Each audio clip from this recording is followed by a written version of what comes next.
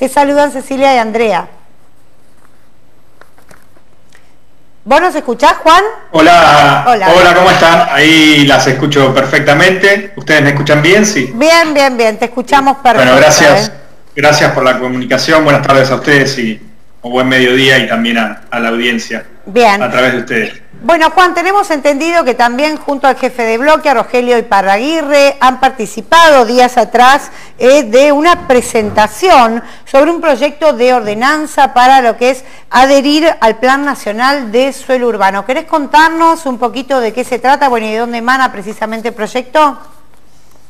Así es, la semana pasada, junto a asociaciones civiles, cooperativas y colegios, eh, de profesionales de la ciudad, nos reunimos con el director del Plan Nacional de Suelo Urbano, que es Luciano Escatolini, que es alguien muy conocido, que ya viene de la experiencia del Procrear, eh, y que está a cargo de este programa nacional que se lanzó hace algo alrededor de dos meses, y además de intercambiar acerca del plan mismo y, y, del rol de los actores de la sociedad civil y de los del Estado, lo que hicimos fue, junto a Rafael Iparraguirre, presentar un proyecto de adhesión al Nacional de Suelo Urbano, porque los municipios necesitan adherir para poder generar estos convenios. ¿Y qué es lo que básicamente plantea este Plan Nacional de Suelo Urbano, eh, que administra lo que es el Ministerio de Desarrollo Territorial y Hábitat? Es algo fundamental. Ustedes recuerden cuando se lanzó el Procrear, en el 2012 en adelante,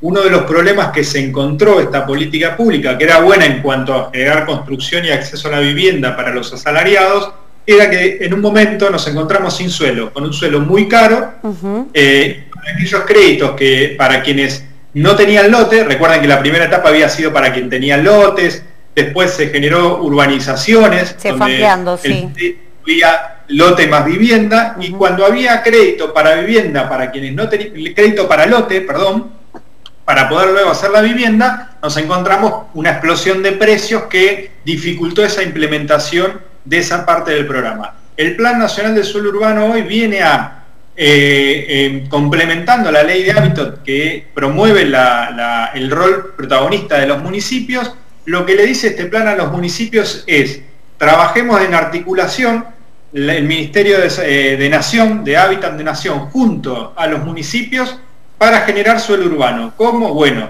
sea que el ministerio le ayude a financiar la adquisición de chacras, o sea, de predios, para que después se puedan lotear y urbanizar para poner lotes con servicio a menor valor, que hoy son incomprables para el asalariado común y para distintos sectores sociales, o financiar el ministerio para la infraestructura. O sea, puede ser tanto para la adquisición de la chacra o para la infraestructura, que implica también un costo muy importante si uno lo quiere urbanizar eh, y lo que promueve es justamente una articulación del ministerio directamente con los municipios que son los que operan en el territorio y son protagonistas del ordenamiento eh, territorial y son quienes conducen hacia dónde va creciendo la ciudad. ¿no? Esta es la esencia del plan y, del proyecto. Bien. Juan, eh, Cecilia te saluda. Quería consultar de estas tierras a las cuales, bueno, en principio debe adherir el municipio a este plan, como bien nos contabas. De estas tierras eh, que estás hablando, ¿son tierras fiscales? ¿Son tierras que debería comprar el municipio algún particular con ayuda a nivel nacional? Em, ¿Cómo está planificado? ¿O serían todas las propuestas juntas?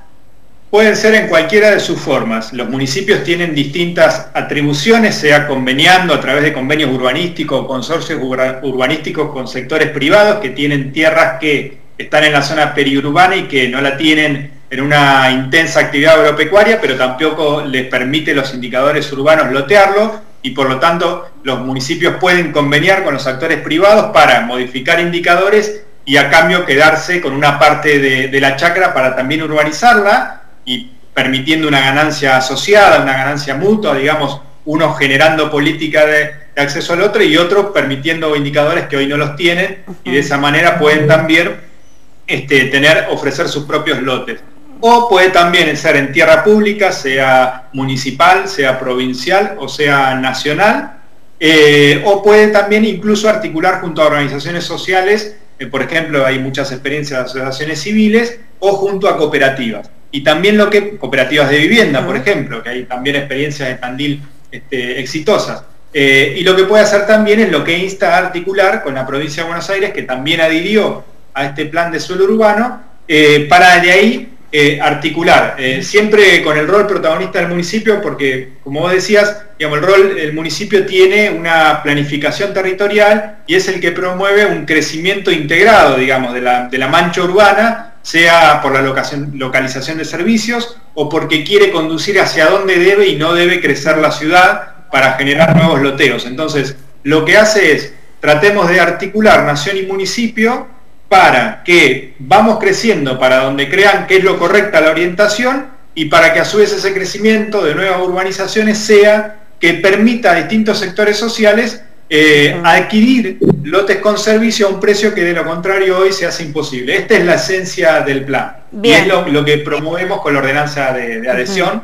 este, y que, un segundo más, tiene que ver con otras acciones que ya iniciamos, que hace también dos meses presentamos la propuesta de creación del Consejo Municipal de Tierra, Vivienda y Hábitat, también para que junto a colegios profesionales, colegios de arquitecto, ingeniero, técnico, maestro mayor de obra, asociaciones civiles, cooperativas de vivienda que vienen generando también suelo urbano o programas de vivienda y por supuesto junto al departamento ejecutivo y los distintos bloques genera una instancia que permita discutir políticas integradoras y de acceso a, lotes y viviendas. Ahora, eh, Juan, ¿cómo, ¿cómo ven ustedes estas políticas? ¿no? Porque esto tiene que ser, por supuesto, una una política pública por parte ¿no? del Ejecutivo. Yo recuerdo que en algún momento también se habló de un proyecto para realizar lo que es el Banco de Tierras. Nosotros dialogamos también hace unos meses con el intendente cuando bueno, hablamos de, los lotes que podían destinar a través del dinero que se genera ¿no? por las excepciones a, a lo que es el plan de desarrollo territorial. Bueno, llegaba solo a comprar una manzana, digo, también tiene que haber como una, una política en ese sentido, más allá de, adherir. No, sin duda, el rol debe modificarse. Ustedes saben que nosotros tenemos una lectura crítica en este plano que tiene que ver con la política municipal de vivienda, no porque creamos que el municipio puede todo, pero sí el municipio con un rol proactivo y protagónico tiene una serie de instrumentos para generar esto, eh, que es básicamente generar más acceso a lotes con servicios y ahora tiene una posibilidad que tiene un apoyo también financiero posible que, lo alienta mucho más. Pero es cierto que en instrumentos municipales venimos atrasados porque no tenemos un banco de tierra, de la tierra pública, de la tierra que el municipio logra conveniar con privados para generar lotes. El Fondo de Desarrollo Urbano tiene escasos recursos y hoy no nos permitiría ni siquiera una urbanización de un predio más o menos grande.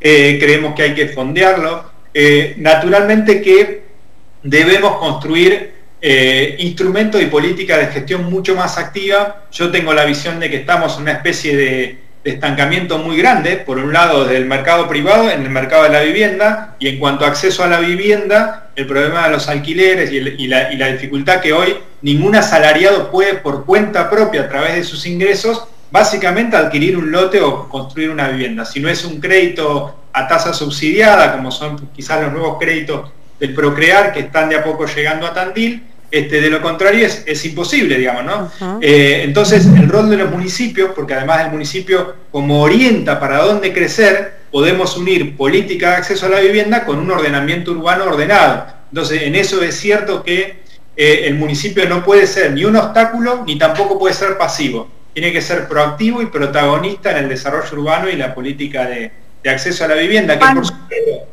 no se soluciona de un día al otro, pero sí debemos empezar. Sí, por algún, por algún lado, en algún momento hay que arrancar. Este, este plan va a ser porque, a ver, el déficit de la vivienda, y vos los venís trabajando hace muchos años, no solo se da en personas con eh, muy pocos recursos, eh, que después también quiero preguntarte tu mirada sobre el tema de las tomas, eh, sino que también se da en la clase más baja, en la clase media, media alta, eh, gente con trabajo que alquila y la verdad que cada vez se van achicando más, viven en, casas muy pequeñas porque el sueldo ha bajado mucho eh, en relación y bueno, la verdad que alquilar se hace muy, muy costoso. ¿A quién está dirigido precisamente este proyecto, bueno, este, este, Plan Nacional de Suelo Urbano? ¿Es solo para clases? Porque la verdad que acá hay un déficit en, muchos sectores. Así es, eh, comparto plenamente la mirada. Eh, esto implica desde hoy un trabajador bancario, si no es por el procrear, incluso un trabajador bancario en su propio banco no puede sacar un crédito que le alcance a comprar un lote. O sea, no hay posibilidades ni siquiera teniendo la capacidad de endeudarse. O sea que eso quiere decir que el, conjunto del sector asalariado, del que gana muy pocos ingresos o está desocupado, a quien este, tiene un este, trabajo estable y un salario estable y, capacidad incluso de tomar algún tipo de crédito, si no es por incluso por el procrear no lo puede hacer. Entonces, evidentemente es una problemática que abarca a los distintos sectores sociales, sectores comerciantes, emprendedores, asalariados estables, eh, del sector público, del sector privado, etc. El plan justamente tiene esa mirada amplia de, será de acuerdo a, los, montos, de acuerdo a la capacidad de inversión, de acuerdo al predio, de acuerdo a la política también municipal, eh, para quién irá dirigido. En general, las mejores experiencias que tenemos en las provincias de Buenos Aires, donde los municipios han generado políticas de tierra o de vivienda, general, eh, generalmente se hacen para porciones para distintos capacidades de ingreso, de acuerdo a la cantidad de salarios mínimos, eh, vital y móvil, que es generalmente una unidad de valor que se usa, y se trata de eh, hacer programas que tantos lotes para un sector que tiene una capacidad, tantos lotes para otra, y se distinguen la cantidad de cuotas y las formas a pagar.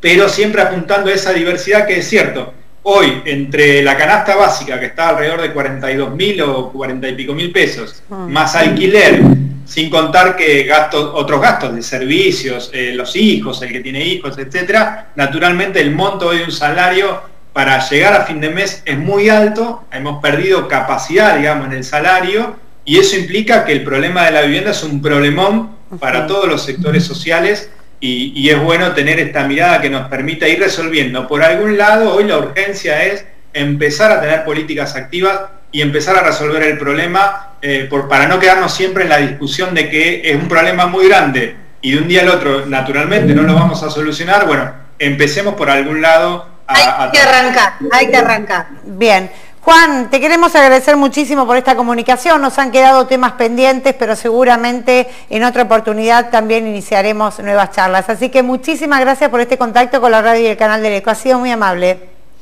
Muchas gracias a ustedes y también por este tema que es tan interesante y que está al tope del día. Me parece que está bueno también mostrar por dónde es posible ir este, eh, agarrando la punta del ovillo para empezar a solucionar el problema.